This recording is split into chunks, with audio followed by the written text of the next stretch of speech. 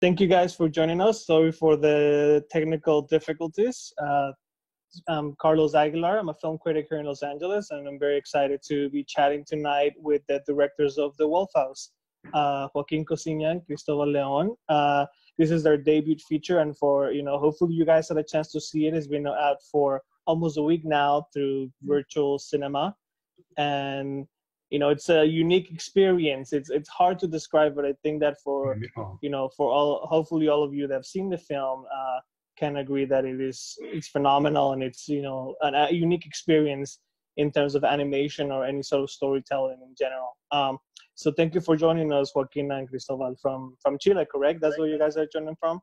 Yeah that's correct. Thanks yeah. juan carlos for having us here um, so go ahead and start, you know, as people join us in this sort of like now that we've shifted from Facebook Live to the the Zoom uh, conversation. Hopefully, people are joining us now.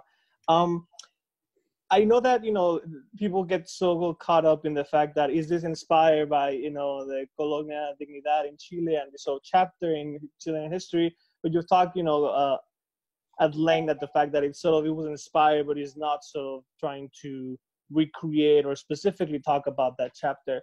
Um, with that in mind, I wanted to ask, why did you feel that the, the structure or the tropes, the sort of ideas of fairy tales uh, were perfect to touch this sort of, you know, uh, a cult or a colony where there's manipulation and sort of like this uh, ideologies of control? What was it about the fairy tale that felt like the right approach for this story? Do you want to start, Joaquin? No, I mean, you already start, so go on. Well, I don't know. I well, the the thing is like, um, it's, it's it's not so much that we had the the this this subject, the subject of Colonia Dignidad, and and we kind of um, apply um, a layer, like kind kind of a Photoshop layer of um, or filter of stop motion fairy tale or animation fairy tale. Okay. Um, it was more it was more chaotic. Our process was way more chaotic. I think we we started with with the idea of actually doing a fairy tale and then the opposite occurred. Like the the subject of Colonia Dignidad started to uh, infiltrate our script as a kind of virus. Like um, so we, we we had the idea of doing this kind of fairy tale made by a sect and then slowly we realized that we that the, the sect we were talking about or the, the, sect was actually Colonia Dignidad. So we were trying to uh, to to um, yeah to create some kind of metaphors for Colonia Dignidad, but but then we decided to uh, directly about it. So it was it was more chaotic than than that. I would say it was more organic. Um, I think I think also like it's um, animation and fairy tales for us work as a very like um, useful approach to to like historical trauma in in Chile or historical trauma because we can talk about these subjects in an well as you said in the in the question in a non-historical way in a more like subjective and maybe because it is subjective in a in a deeper way you know? Um, yeah. I don't know if joaquin wants to yeah maybe i want to i want to say something like really straightforward that basically we start this uh, this film production with a one script and the script was completely different at the end like completely different. So we didn't have like this like a script pre-production production post-production structure. So because we the film was produced like during five years. Uh, we were like talking about the ideas and the scenes and the subject and blah blah for five years. So it was in a way uh, like a super slow improvisation. And in that process like the sect that you are talking about colonia dignidad and paul Schafer, uh, kind of pop up slowly in the conversations and starts to change the script during the production. But that was thanks to our chaotic way of working and also thanks to the super slow production, uh, like super slow stop motion system. There is something that there are many other things I'm thinking now. That there is also the, the, the fact that the, um, we were talking about this German sect, this German cult, and and usually like personally, I I think like I I relate fairy tales with the German culture. I mean like. Uh, you, you you think when you think about fairy tales, you think immediately about like uh, Grimm Brothers or mm-hmm. this. So it seems to be a very like Central European thing um, to tell to tell stories with uh, through fairy tales and also like it, it, was the fact that the the the the colony itself uh, tried to project a fake image uh, of themselves um, as a kind of fairy tale. Like it, they, they were doing this kind very very elaborated uh, storytelling of a like a idealized or fake um, image of, of the of the life within the colony. You know it was completely fake. They, they, they would represent themselves through videos um, of like happy families when the reality was completely the opposite that like men and women were completely separated within the colony. And and and, and they they would live in conditions almost of slavery. So they they had this uh, like permanent construction of a, of a fake image. And, and it was pretty much as a like a like a fairy tale. And and finally i think we wanted to to make like our first uh, full length animated film and it was like like when you think about like like a feature animate animation film you think about uh, miyazaki or walt disney in the case of of like uh, the us and and then we wanted to make our like to create our like latin american tradition of animation fairy tales you know like like animation is so like like uh, closely re- related to fairy tales i think and, and, and we wanted to make the latin american version and the latin american version has to include um, like political horror uh, racism uh, fascism i don't know like all, all, all these things have to be inside i think so i think that yeah. go ahead go ahead go ahead no no basically just to complete what cristobal was saying when we were thinking in that terms, we realized, okay, what will be funny? Uh, which Walt Disney will we have in Chile? Uh, which will be which one will be the the South American or Chilean Walt Disney? Yeah. And we thought it was funny in a, of course, dark way that Paul Schaefer, the like the pedophile leader of a German sect in the south of Chile, will be a perfect like Walt Disney for us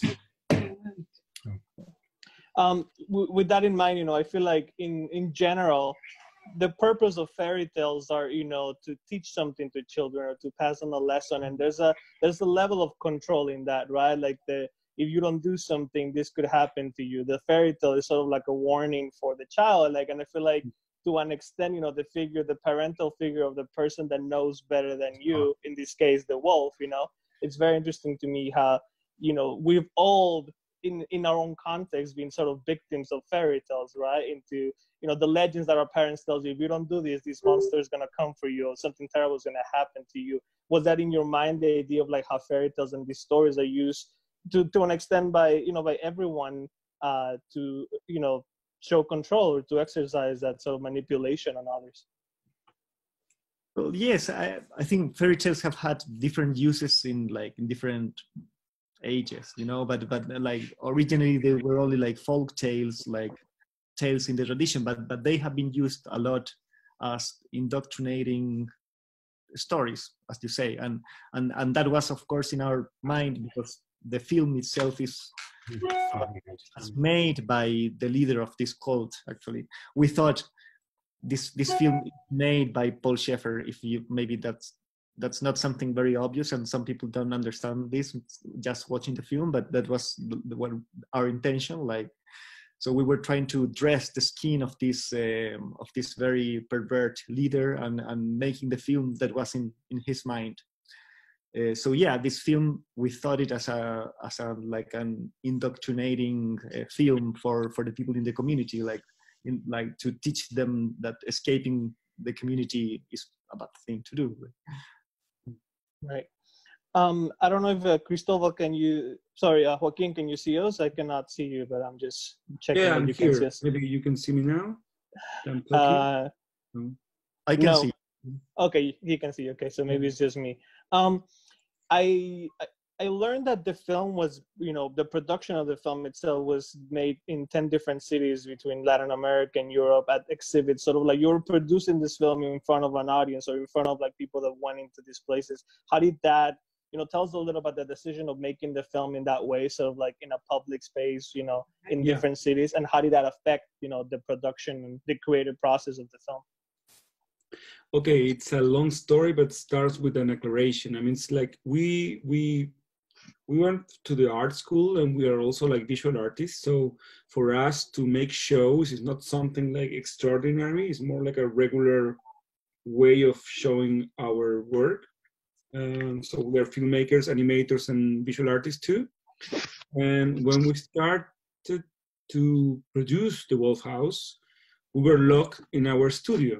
And uh, like i think that after a month like working in the studio we realized that we will spend like a lot of time you know like in the basement working by ourselves. And that we ha- we needed to have like all our mind in the project but at the same time we were get we were having all this like we were receiving all these invitations not many but some to make shows or to be participating in like galleries or museums.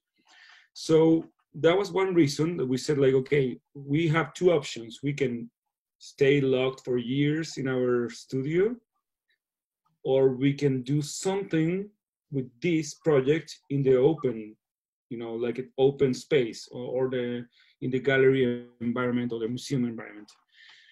That was one reason to kind of like transform the studio in an open work in an open you know in a show. Hello um, are these the artists? I think. Yeah, one of them. Hi, Hello. So was what, what what that's what that was one of the reasons, and the other reason was that when we while we were working in the in the studio, as you can see in the film, it's quite chaotic and beautiful in the way that the all the materials explode and transform and everything. So at some point we decided that we want to share that process. You know, we want to to make shows like art shows that are not like uh, like something like our studio, but really our studio. So we decided to move our studio to all the places we were invited to show.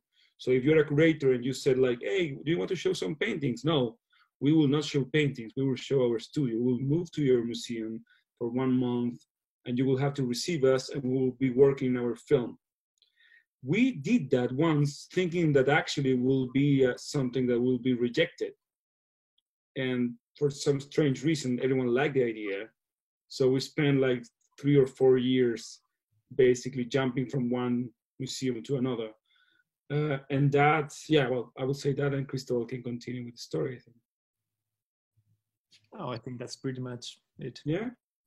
I mean, was it was that disruptive to to have to move the production from place to place? Did that sort of like disrupt the the process of? No, no, no, no, no.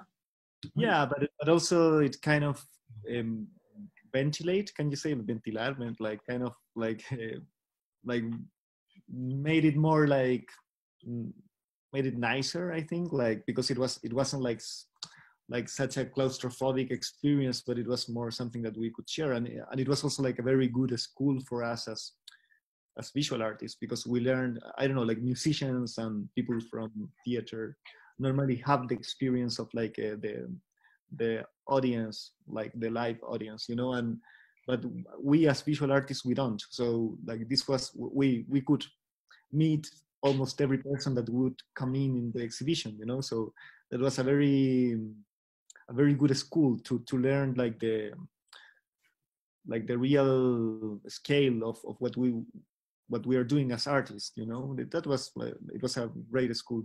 Also you know that the, the idea of showing the process and showing the um, the bones of our work is in the is it's, it's like the seed of, of what we started doing like i don't know when we started working together with Joaquin we started more than uh, around 15 years ago and we made this uh, short film and we had this this very simple idea in mind of like making uh, an animation movie about the process of making a drawing and erasing a drawing and then like showing the process of making a film in a in a gallery or museum was like exactly like a continuation of that you know like of like Mm. exhibiting our process of showing openly our process you know Right. You know, with stop motion animation, you know, I feel like uh, people have the idea of what they've seen in, you know, in mostly like American productions that there's a figure with an armature, like a metal armature, and that you bend that to make motion or you change the faces, you know. But with what you guys are doing, it's sort of like a, the material destroys itself in front of our eyes and then it rebuilds, you know, and it transforms. And it's painting and it's physical. At times it's tangible, and times it's flat. Can you tell us a little about the process of and the intention behind you know working with the materials in the ways that, that you guys did in the film? Well i think there are many many things around that. The one thing that it's uh, that one thing i want to say is that this, the film have two like narratives. One narrative is the one that tells the story of maria who escapes from the colony and goes into the house and blah blah blah. Well the long blah blah of course uh, but there's another story, which is the story of the materials. It's more like a performatic documentary way of uh, narrating. We, we, feel that that one narrative of the film is like a document, like a document of how materials change and transform, and also is a, like a record of how we were like transforming the space. So, well, basically that's one of the lines, and the other line is that for me, one of the main things that I like about stop motion is that when you see stop motion, you're basically not seeing the most important part of the image, which is the human being and the energy moving the things. So when you have like a doll and you see, you know, the doll moving, like basically what you are not seeing is the human being behind and all the energy, maybe, you know, like moving that. And so I think our film is in a way about that energy or about us moving around the studio, you know, and transforming the things. And we really wanted to to to show all that energy and all the bones, as Cristobal said, of how we do how are we doing this, how this is going to how is this happening. So we love to show the wires and the paintings and you know the, the mistakes and all the things that are going on because we we feel that that's the energy of the stop motion like the like the basement of the stop motion for for me at least and i think for cristobal too is the most interesting part of it like all the energy that's surrounding the movements you know when, um, when we um, started yeah. when, when we started doing the animation we like the day the day we started actually uh, we um, we wrote a decalogue like our 10 command commandments of animation, like of, of the animation of La Casa Lobo, of the Wolf House. And one of them, one of the rules was um, like everything can be transformed as a sculpture. And other one was like there are no puppets. Of course, the, the film is full of puppets, you know, but but then we uh, really tried hard to imagine them as like matter and not um, and not puppets you know like and, and we wanted like like a table can be transformed as a sculpture uh, can be i don't know how do you say like uh, go away and and like a, a, body too and and this is because we imagine the film as a dream you know and and we we imagine the film as a mental universe and and we thought that like everything in the film is is like mental energy and everything can appear and disappear and and and we also imagine the film as like the transition between images you know like images coming from like to to the memory so we were not so focused in this case when we animated in like in trying to produce a naturalistic animation but more like to to think about how you go from one image to another image or how would this happen in your mind you know? I love the moments that goes in where there's there's moments in the film where a character is half painting and half a physical element, like half of a body is the perhaps the legs sticking out from the wall and half of it is flat painting. What was the intention behind you know having these characters exist in these two sort of like elements, you know, as flat images and as physical beings? At the beginning of the process, we supposed to make a film that was going from like 2D to 3D that was the like the like intellect the intellectual you know plan of the film but of, of course that all fell apart like super yeah like the first day we were not like going like doing that.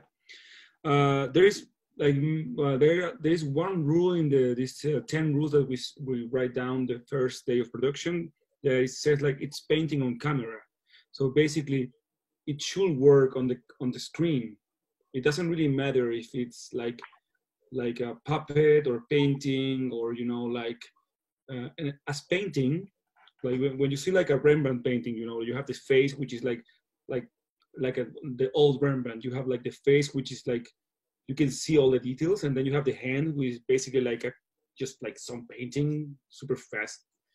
And but you still see like a like a you know like an old lady looking to the window. But you can actually at the same time you can see the hand which is not a hand at all. Um, so I, I see myself now. It's really like strange. Okay. Um, so we were trying to we were we were like really improvising based on what we were looking at the small screen in the camera you know? So we said okay okay it, it, it needs an, another arm. So we will paint the arm in the background even if the puppet was in the front because it was in a way was more easy to do painting on the back on the back of the of the studio.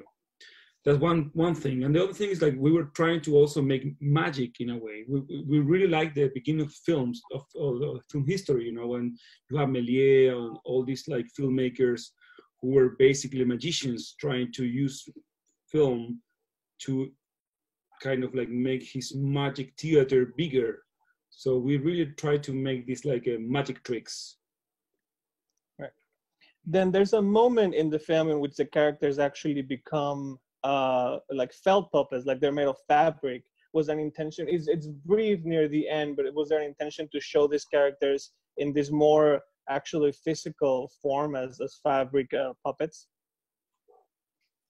Oh, I don't know. I think something we see we think the, the film a lot like um, often like a comedy like you know like of course yeah. it, it, seems to be like a very like a like a dark film and it's like people think think of it as a horror film but we we take a lot of decisions because it they, they seem funny to us and you know that we we are very like um, inspired by Rankin Bass animation you know like the Jack Frost like mm-hmm. old like Christmas the special animations and or, or the, the, there used to be like this also like this uh, stop motion like the, the, maybe the the pioneer of stop motion in or, or the only example of stop motion in chile was this um, animation to go to sleep like at nine o'clock or something and it was like like puppets kind of like this mm.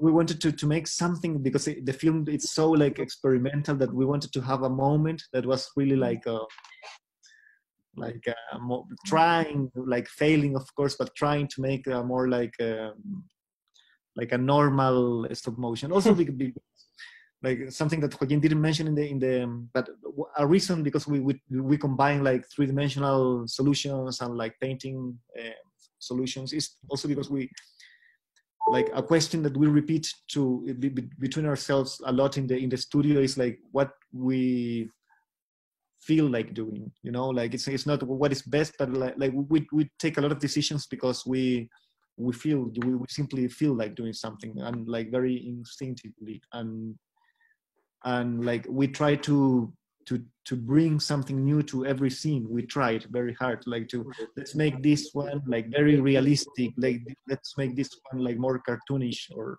you know and and for those species like two scenes that are more like a kind of cute puppets. We yeah we maybe we were a bit tired of doing like kind of experimental stuff, and we wanted to try to make something more.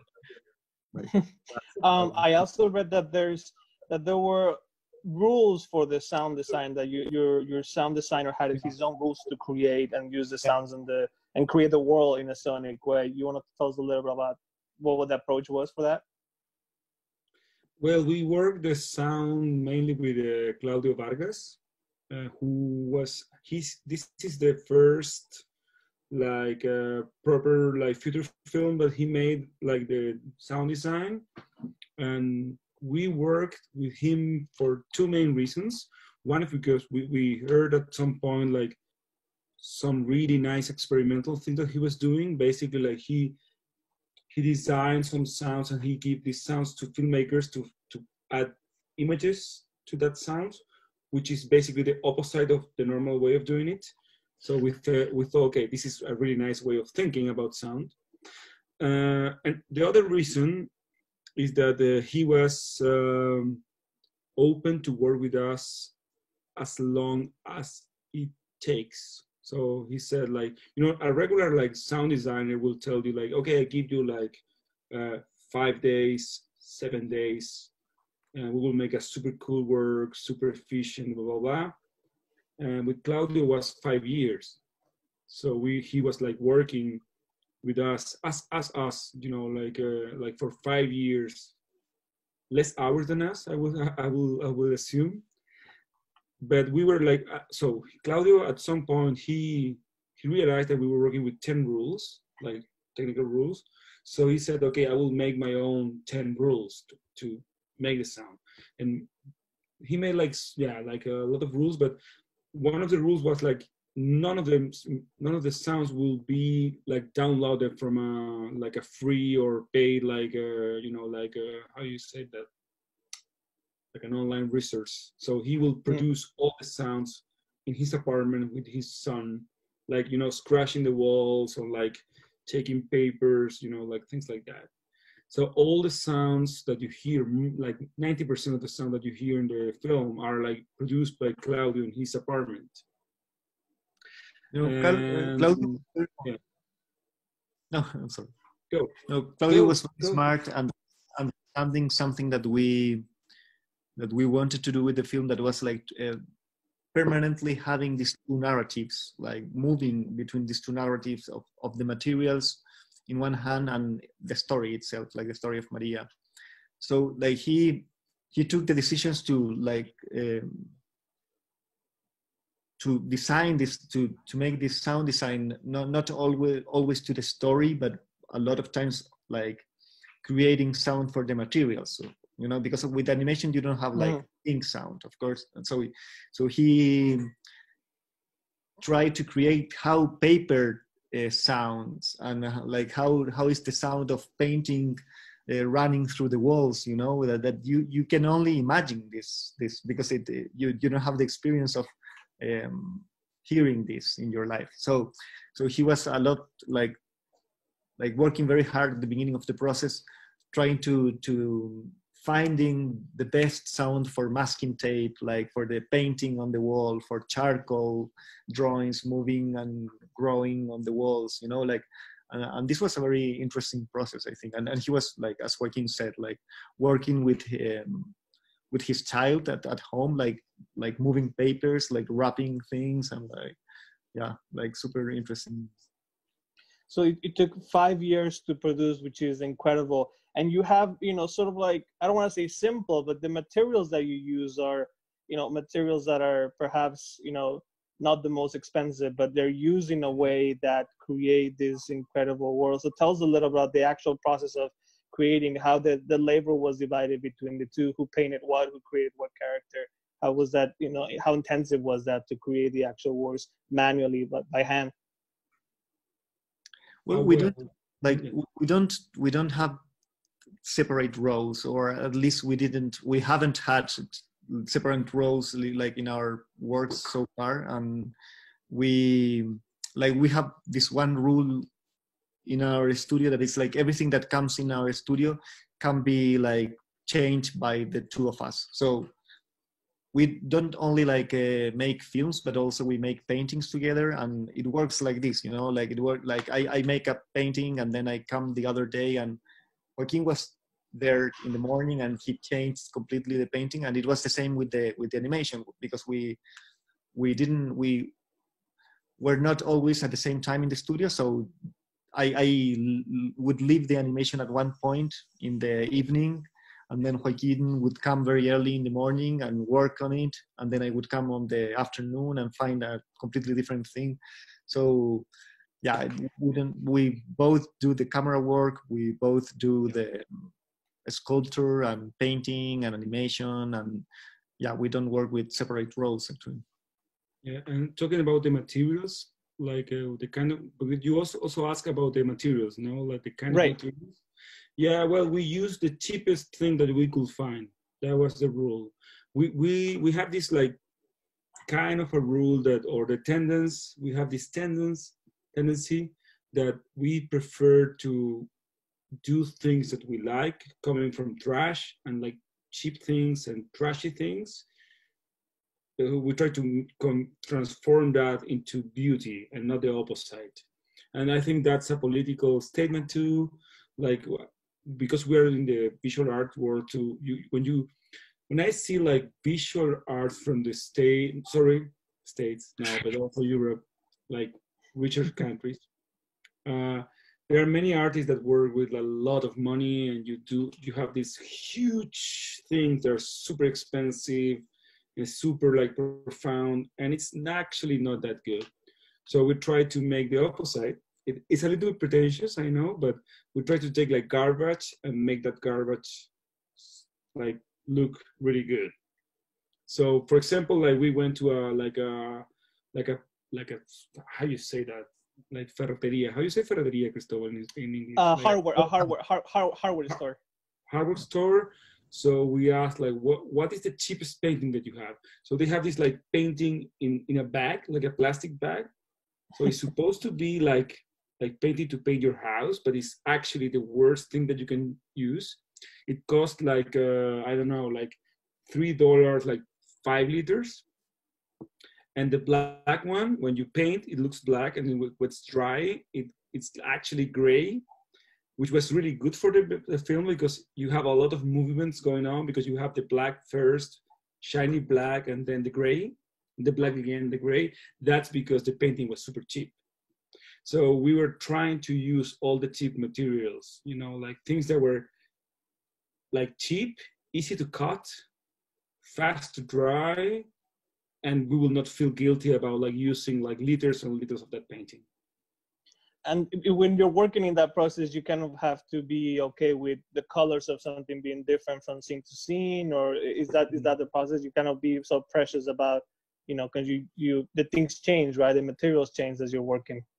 Yeah we uh, this, this was a very conscious decision when we started doing animation. It was like we cannot be let's say pixar. We cannot be we will never be uh, as perfect as as like American or European or Japanese uh, animation, you know. So we have to play using a, like a football soccer uh, word. Like we, we have to play local, you know. We have to we have to be dirty. We have to be like chaotic. We have to be cheap, you know. Like the, and and and try to play these values uh, as like uh, virtues and not like as uh, mistakes, you know. Um, Right. There's a scene in the film uh, where uh, Maria has this, these pigs that become children, um, and in the in one of the rooms they have um, El Chavo del Ocho. For anyone that's from Latin America knows, you know, they have images of like Dragon Ball Z, and to me that sort of speaks to perhaps the outside world that's sort of evil. Um, what was the intention behind having those sort of iconic images in this room with this this children that she's sort of raising in freedom?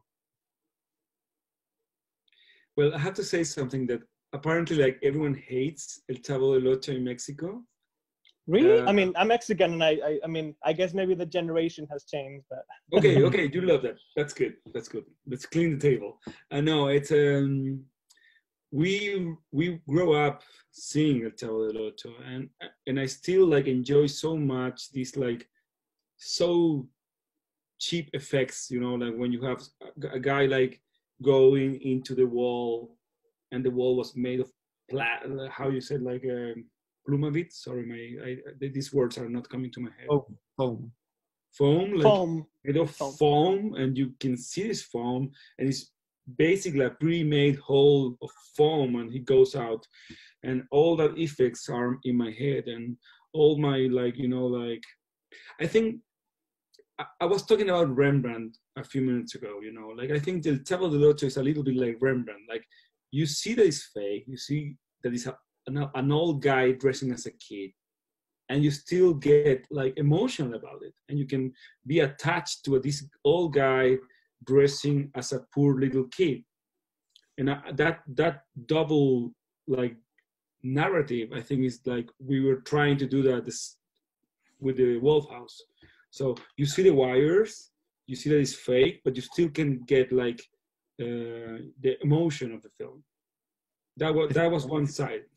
Yeah that, that that is one side and like our like very deep admiration for Chespirito the but also like we were trying to recreate a like media class like uh, house you know a media class latin american house. So that was we, we would take this decision of, of, of having these elements of decoration you know like because like like people in the outside world look this kind of stupid shows also you know like like like these tv shows. They they watch tv i don't know like yeah that was that was i think the, the two things. But mainly it was our uh, big admiration for Chespirito. Yeah. right. Um there's some questions from the audience uh, and I'll, I'll you know i'll share with you guys some of them. Um owen felton who hopefully is watching uh says as this is a film rooted in history of uh, of political history of Chile or a chapter of that, how do you hope American audiences can connect with uh, mm. with this story, and what can Americans take away from this, both relating to Chile and and in the history of the United States? Essentially, well, how can people can relate to it outside of Chile? Yeah, well, the answer is actually not that difficult. Like we took the case of Colonia Dignidad, which is a, a religious sect in the south of Chile who was basically ruled by a German who was a pedophile who basically like create all this like super creepy world to dominate people and kids. And that can describe a lot of sex in the world. So the film was basically in a way it was a process of transforming colonia like the specific case of colonia dignidad in a more like uh, I mean we, we we presented as a as a regular sect in a way. Like main, like most of the sects are around one male, like powerful male guy are like based on like uh, domination, sex, and religion. So, yeah, that's my answer. I don't know if it's yeah i think we, we wanted we really wanted we, we tried hard to make an abstract film you know we, we don't we didn't want to make like a film like his, we talked about this in the beginning but we didn't want to talk to make a film that is historically correct or something or like eh, so um, we wanted to make a, an abstract film because we want to make an universal film and a, a film that everyone in the world can relate to like and and the, i think you you um, everyone's life you can find like repressive figures like from like the from religion politics even especially maybe in your family you will find your parents repressing you like in a nicer way or in a more in a like less nice way. Um so yeah we wanted i, I think everyone can relate to repression. And, and i think that there is something else like i and I think we like as a as a as, as, Latin American. This is more like maybe political, but as, as like Latin American like um, filmmakers, I think it's it's funny like to make um, genre films um, connected to politics. I, am thinking about like this film of Lincoln versus zombies. I don't know, like mm-hmm. you know. So like right. everyone in the world can relate to this film because like we all know like. Um, more or less like uh, American, uh, like U.S. American history. So it's funny, like to do the same thing in the with with our own history as Latin Americans. You know, like to say like, what the fuck if they don't uh, have the um, the background, the, the historical background to understand this? Let's let's make it. You know, we have the we have the power to make it. And and finally, like the the it's good if the film um, is useful for people to get to know about Colonia Dignidad and get to know about like um, politics in Chile. I think that's great. Right. Um, another question here. Um, I mean, it's a, it's a long question, but it's essentially I feel like some people that send questions in have doubts about the scale of the house and the figures yeah. and sort of like how that that worked. If you could talk about sort of the, scale of the figures and the size of the house and the sort of the production of it. Yeah, well, I, I after the third like screening of the film, I started to. We, they always ask you like, the, "Will you say something about the film in the beginning?" And I always hate to present the film and said something about the film because I want people to go into the film without any like knowledge. But I, I started to say this, like, don't be like. Ex- I mean, I don't want you to be like uh, feeling like uh, anxious about knowing what is the scale of the film. So basically, it's a like the all the spaces are real size. So are real rooms, like when you see a furniture, is a real furniture normally. Like the puppets, if you can call that, the puppets are like norm, more or less like real size. We were like really like painting the walls of a real room. So it's yeah, it's one to one.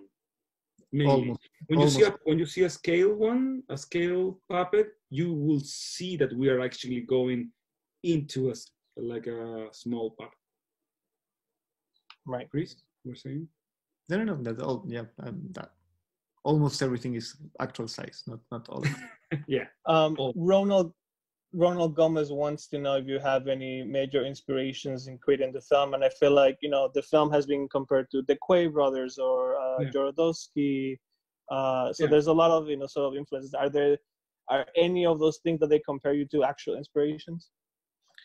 Um, well, I think, yeah, may, may, maybe the, the, the, the, the more accurate one would be David Lynch, even if it was not mentioned among those. But but I think that was like we felt very inspired by talking about filmmakers, you know, because we have a lot, a lot, a lot of inspirations, including Chespirito and many others. But but I think David Lynch, uh, like uh, Eraserhead and the the the short films are very I know all of all of his films are very like inspirational for us. And definitely Alejandro Jodorowsky and definitely, yeah, like Švankmajer was in the beginning. Yeah, we have a, we were like, like preparing another presentation and we start to make a list and we were like, like 60 pages list. Yeah. And can I can I do something? I will share. Oh, okay. I cannot share my screen. Doesn't really matter. Um, another question, Abigail Blaine wants to know: um, Were there supposed to be were there supposed to be a third pig, or is the third pig the audience? Uh, I think I think the third pick is the audience is a much better answer to to yeah. than the real one. But yeah, there is supposed to be a third pig It, it's hidden in a scene. I mean, like Yeah. Oh, yeah. so is this like a like an Easter egg? What they call you know when there's something hidden in the in in, in the background of the story? Well, actually, No, it's not so hidden. It's pretty much in front of the camera, but like, yeah, Wait, nobody's. wait, Wow, no I, one I. I have to assume that I haven't. I have to rewatch the film to, to find the third pig. So that that that, Yeah. that hopefully encourages people to watch the film uh, multiple times. Yeah. Um, let me see if there's any any other questions here. Uh, people are very impressed by the paper mache construction. I guess that's how they're referring to the, the technique that you guys use. Um, well, I think that's it from the audience questions. So are you guys, you guys have been making short films together for a while. Has there always been um, so the same tone to the stories, sort of exploring this uh, darker sort of side uh, in your short films? Mm. Well, I I have to admit that the like the dark feeling of the films, like the darky or the like uh, I don't know, like the yeah the dark feeling of the films is the less intellectual and controlled part of our work. Mm. In a way, the Wolf House was, or La Casa Lobo was the the work that we were more aware of that. So because we our it was our first feature film, we said, okay, we will go we know that we will end up with like a dark film. I mean, it's hard for us to to to do like a shiny, beautiful, like super happy film. It's we don't know why, but we go to the dark, like like nightmare feeling.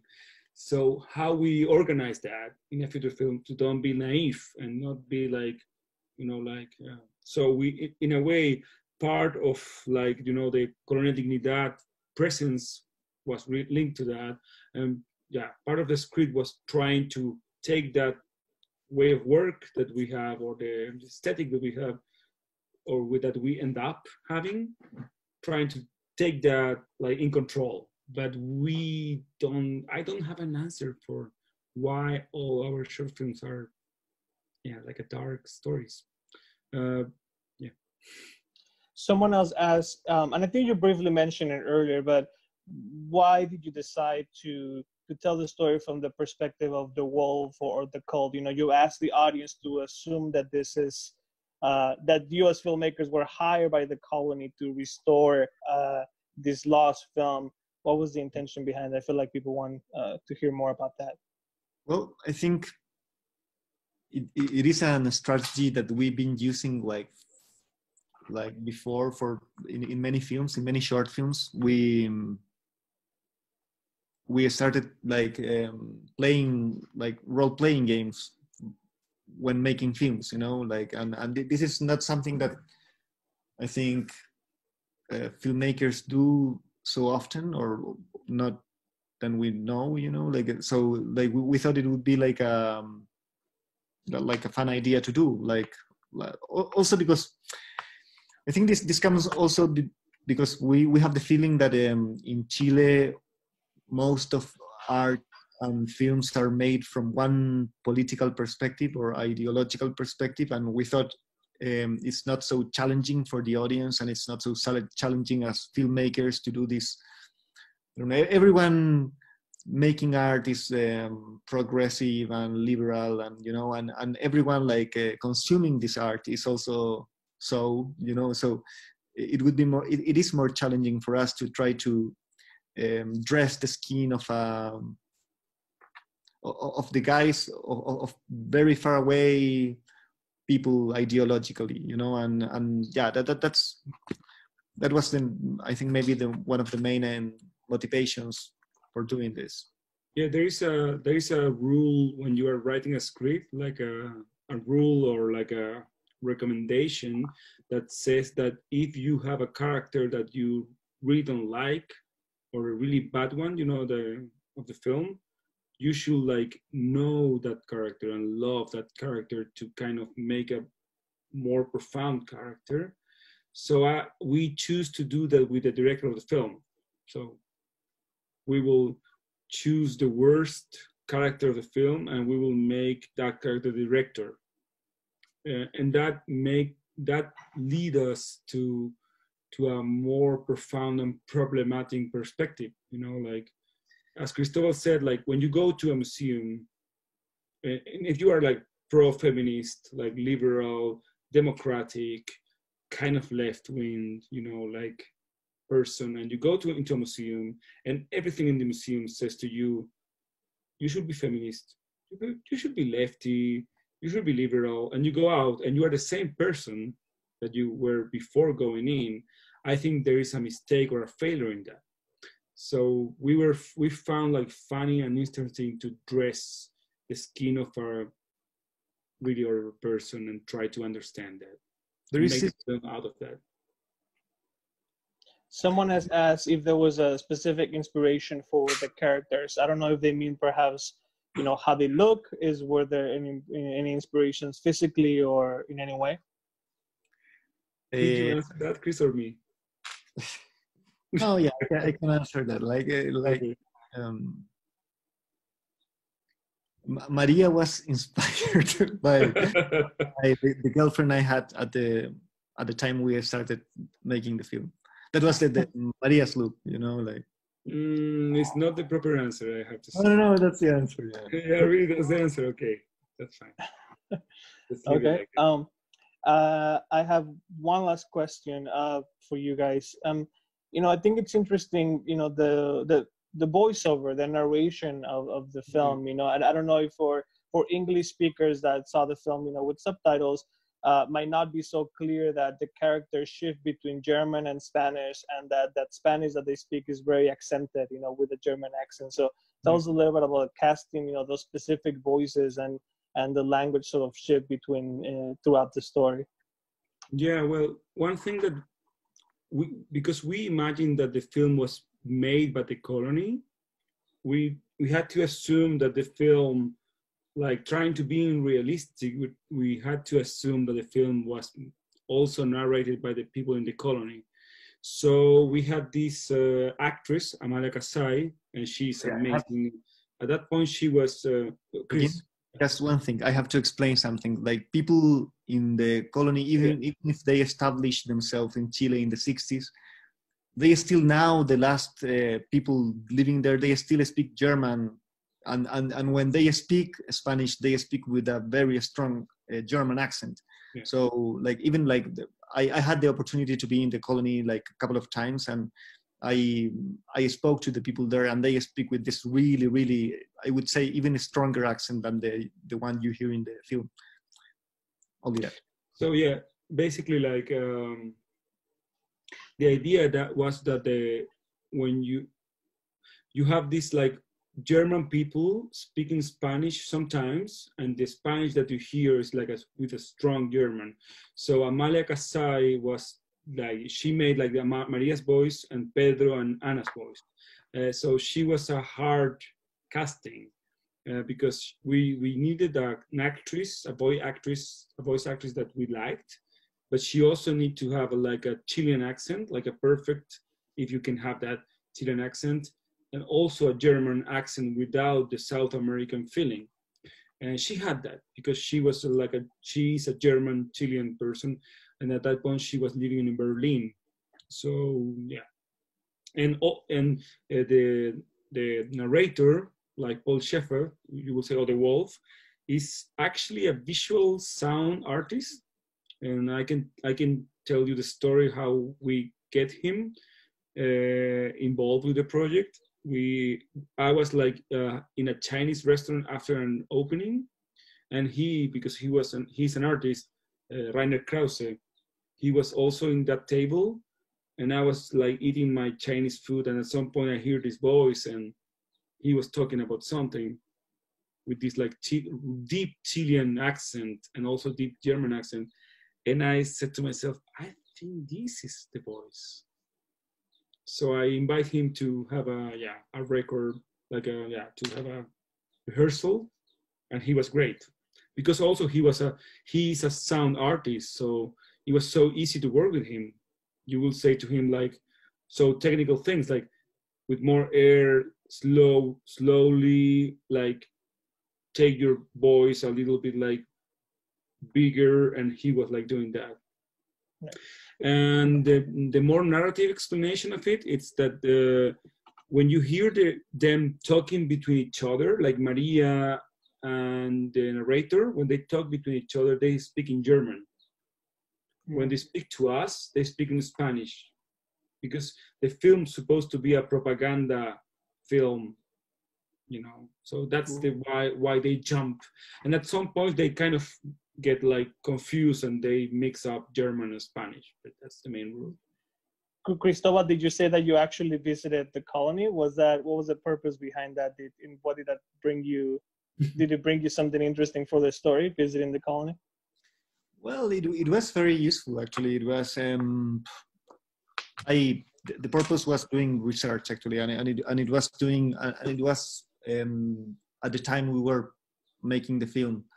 So it was um, first of all it was well very um, well the colony is, is now turned into a kind of a resort into a hotel and restaurant and they would even like um, i don't know pe- people of the zone would uh, get married there. It's very, very, very weird, and it's mm. like Auschwitz turned mm. into a resort. You know, like, um, and and I had the because I, I don't know at the, at the time of the of Paul Schaefer of the of the leader when when he was alive, around 300 people were living in the colony, and now all only like 100 people remain there and it's still very interesting to talk to them. It was very inspiring for writing the the dialogues um, and also like uh, getting to know the the facilities, the installations there. It was also really like um, you have like a completely different perspective. It's a it's a very super like uh, loaded,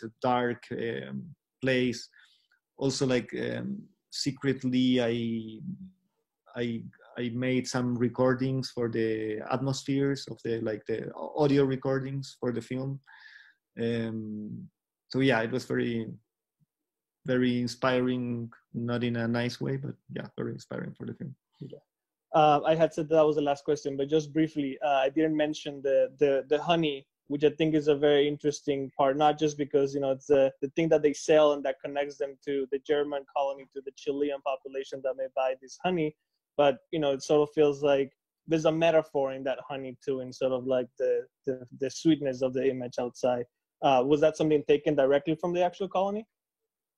Well, well, yes. I mean, they, they would produce honey. They still do, and they they still do produce honey. And you can actually buy the bread of the colony, like in the corner of my house. There is a big supermarket, and I, I someone bring that to me as a joke for my birthday.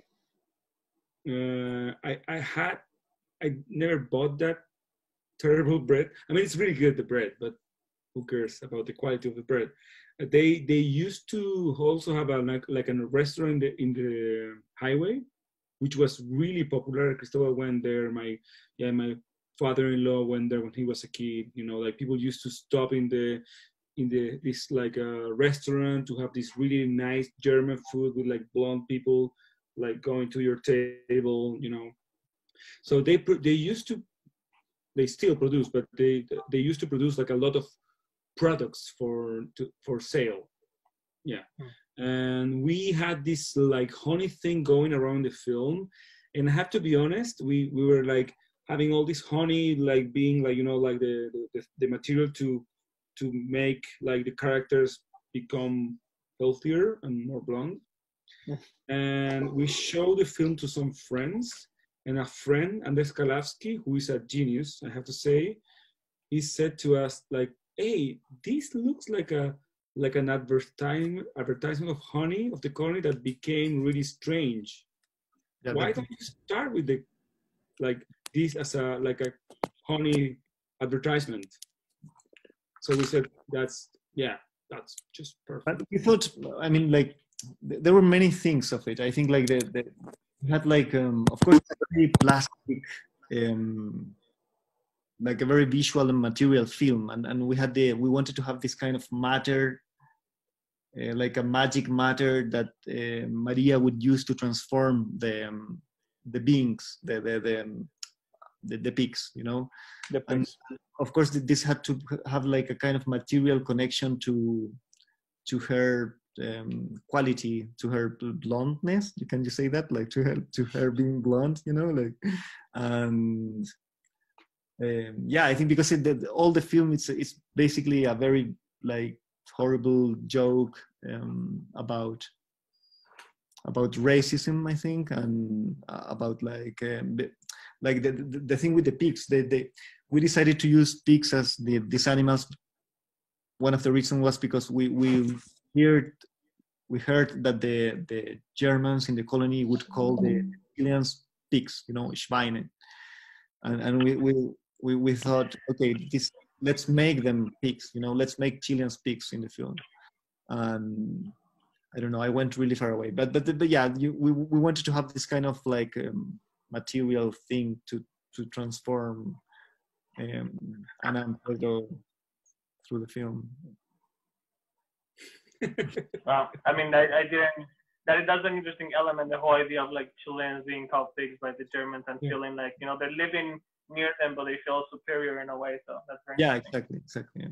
For me, okay, I, I, will tell a story about maybe I'm making a mistake, but I remember like the first time I went to New York, I was uh, going. I, I, was in the Metropolitan Museum, I think it's called. Mm-hmm. Sorry. The Met, yeah. Uh, yeah, and I was in an air in a room and they were like the you know like it was uh, like the Indians room. And then I went to the area of I don't remember the order of the thing, but it was like a, yeah the Indians, and then was the monkeys or something like that. And and then I started to like link the two rooms and like why are those two rooms like so close to each other? Like there is a link between Indians and monkeys, and like not it's not it is a little bit like incorrect, no? Like to link Right, right. yeah. Okay. So we found that it was funny to make this like super stupid like thing that pigs, people with black hair, blonde people, and that's like the way that you know like evolution goes, which is really stupid. Of course, a bad joke, but it worked in the film. So we were like, yeah, of course, pigs, Chilean pigs, and then like becoming like sort of Chileans, average like me, you know, like and then well, I'm not averaging, I guess, but or, or or I am, I don't know. And then like being blonde. That was the month. Okay, I'm going to a deep, big shit thing. Sorry. Um, I, well, I'm thank you seeing like of you you're still giving us- laughing. Like, why are you doing this? Okay. um, it's been a great conversation. Thank you for giving us so much of your time. Um, uh, really, really appreciate it, and I hopefully those that connected and joined us uh, got to learn more about the film. So thank you so much, uh, Cristóbal and Joaquín. Thank you. Thank you. And Thank you. thanks, Ian, for the organizing this. And thanks Thank you to KimStim, yeah, for for, for being in the film to the U.S. and hosting this